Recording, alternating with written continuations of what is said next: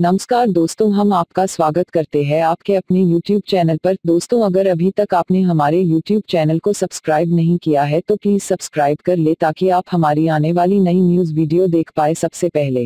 गोदावरी के पावन तट पे श्वेत नामक एक ब्राह्मण रहते थे, जो शिव जी के अनन्य भक्त थे, सदा शिव भक्ति में लीन रहते थे। उनकी आयु पूरी हो चुकी थी। यमदूत उन्हें समय से लेने आए, लेकिन यमदूत श्वेत के घर में प्रवेश नहीं कर पाए। तब स्वयं मृत्युदेव आए और श्वेत के घर में प्रवेश कर गए। श्वेत की रक्षा भैरव बाबा कर रहे थे। भैरव बाबा ने मृत्युदेव से वापस जाने के लिए कहा लेकिन न मृत्युदेव ने भैरव बाबा की बात नहीं मानी। और श्वेत पर फंदा डाल दिया। भक्त पर मृत्युदेव का यह आक्रमण देखकर भैरव बाबा को सहन न हुआ। भैरव बाबा ने मृत्यु पर डंडे से प्रहार कर दिया। मृत्युदेव वहीं ठंडे हो गए, मर गए। मृत्यु की मृत्यु सुनकर यमराज आ गए। उन्होंने श्वेत पर यमदंड से प्रहार कर किया।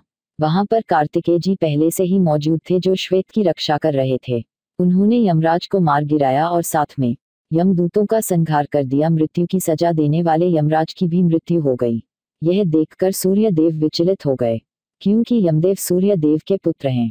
पुत्र को मरा हुआ देखकर सूर्य देव ने भगवान शिव की आराधना की। भोलेनाथ प्रकट हुए शिव जी ने नंदी के द्वारा गोदावरी का जल मंगवाया। और मरे हुए लोगों पे छिकवाया, तत्क्षण सबके सब स्वस्थ होकर उठ खड़े हुए। इसीलिए शिव जी को विश्वनाथ कहा जाता है। यदि दोस्तों आपको हमारे दोबारा बताई गई जानकारी पसंद आई हो, यह इस वीडियो को ज़्यादा से ज़्यादा शेयर करें और चैनल को सब्सक्राइब ज़रूर करें। दोस्तों, मिलते हैं नई वीडियो में। तब तक जुड़े रहिए हमारे साथ।